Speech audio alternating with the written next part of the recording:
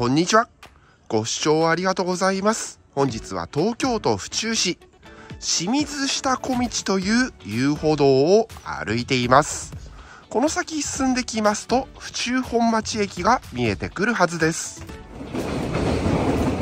奥に見えてきたのは南武線と武蔵野線が乗り入れます府中本町駅周辺には東京競馬場が位置しています遠くに早速車両が見えてきました。武蔵野線です。埼玉県や千葉県を経由しましてぐるっと首都圏を一周。京葉線経由東京まで向かう列車が現在出発待ち。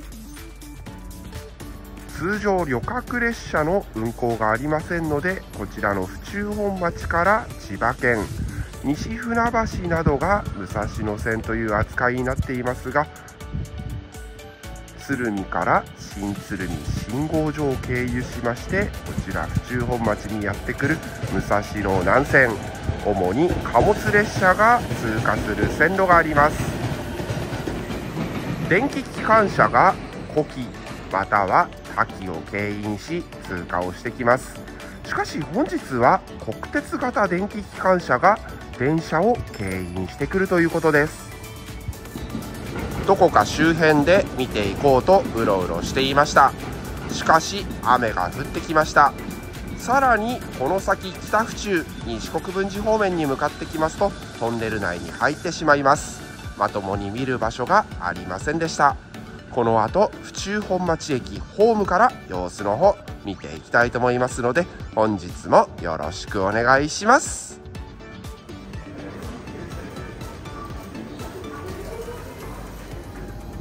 本日は第43回ジャパンカップが東京競馬場で開催されます。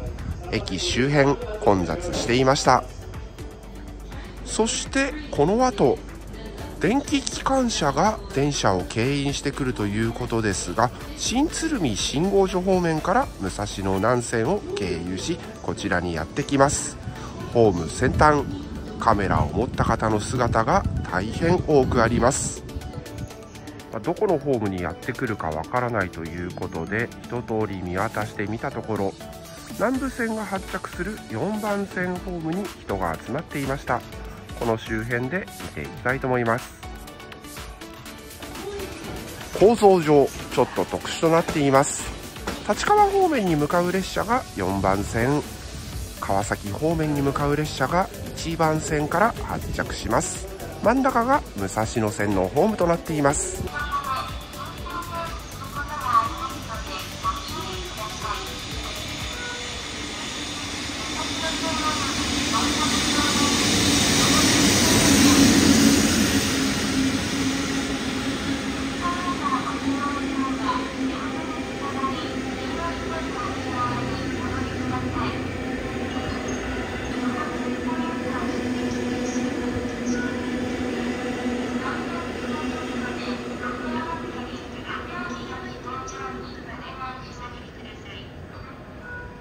まあ、本当はホーム先端この辺りで見ていきたかったのですがずらっと人が並んでいました。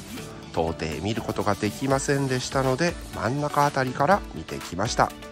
先頭には新鶴見機関区に所属する EF65 型2000番台国鉄色の2074号機が立っていました。後ろには長い電車。先日武蔵野線新秋津駅周辺で見てきたばかりですが後ろの車両は西武鉄道。4万系10両新しい車両を牽引していました。おそらく兵庫県神戸市川崎車両で申請された新しい車両かと思います。前回が4万 163F 今回は 164F だったのではないかなと思います。向かった先は新秋津。この後行って様子の方見てみたいと思います、まあ、乗車しようと思っていた列車が行ってしまいました。高速列車10分後にありますので乗車します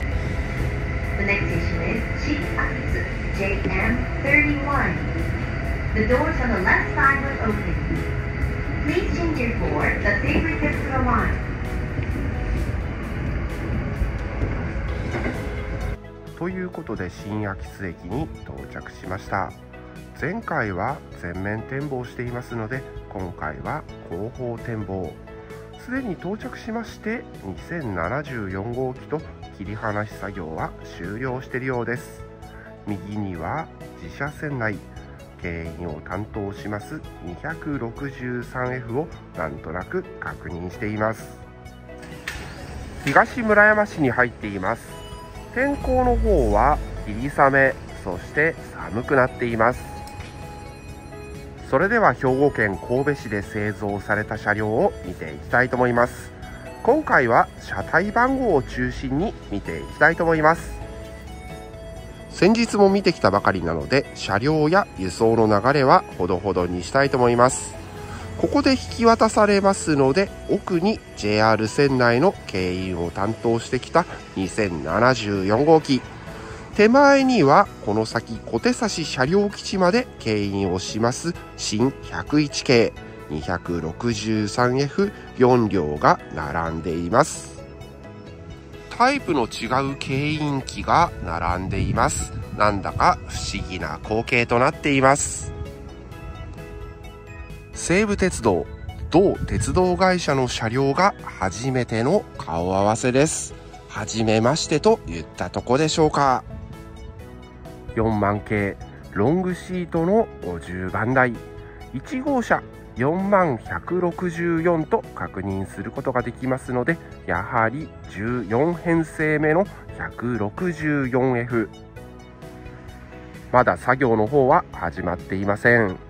左の車両が5号車。4万564右の車両が6号車。4万664この先小手差し車両基地に向かいます。しかし牽引を担当する263や有効庁の関係上5両2度に分けて輸送されます。よって反射板がお互いに取り付けられています。前回 163F が輸送されてきたのは約1ヶ月程度前です。頻繁に増備が進んでいますがいろいろ調べてみたところ2023年度内はこの車両をもって終了するようです。仮に増備がこの先あるとしても2024年度になりそうです。先日も横瀬車両基地の方に行ってきました。置き換え対象となっている2000系が10両廃車。こちらの車両が増備されれば2024年度も同じような流れとなってしまうんではないかと思います。一つ気になった点があります。4万系高周層といえば今まで JR 線内牽引を担当してきたのは EF65 型2000番台です。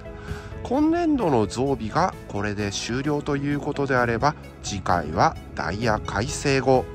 となると新しい電気機関車に変わってる可能性もあります。EF210 型の増備が進みまして2024年度どうなるか分かりません。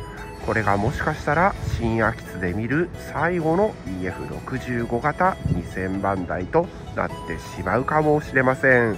ということで新秋津方面に引き上げてきます。この先一旦武蔵野線北朝霞方面に向かいます。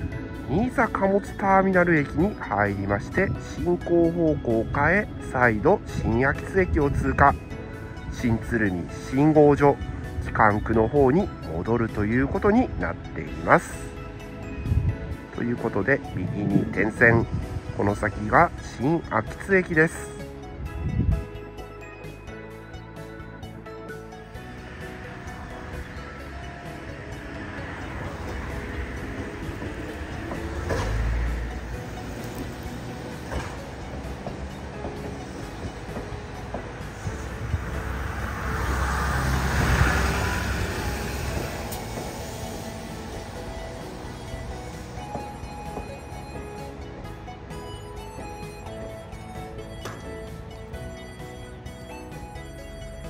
JR 貨物の輸送は終了しています。この後は自社による輸送となります。263F が入れ替えを開始しましてこの後は 164F の10号車から6号車の5両に連結。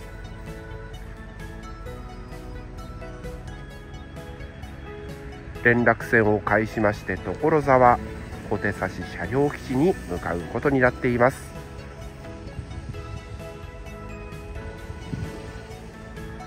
連結作業の方はあまりよく見ることができませんのでこの後は秋津公園の方に先回りお見送りをしまして終了したいと思います。新秋津で JR 線と所沢で西武鉄道と連絡する線路が見えてきました。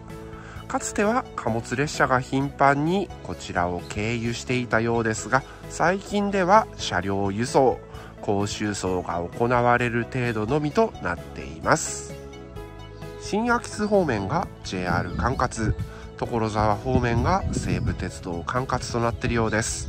境界はどこだか分かりません。保守点検作業どのように行われているんでしょうか？もう間もなくしますとゴーッとものすごい音がしトンネルから 263F 続いて 164F の10号車から6号車が出てくるかと思います。最後にこの場からお見送りをし終了したいと思います。この先もいろんな列車いろんな車両見ていきたいと思います。チャンネル登録よろしくお願いします。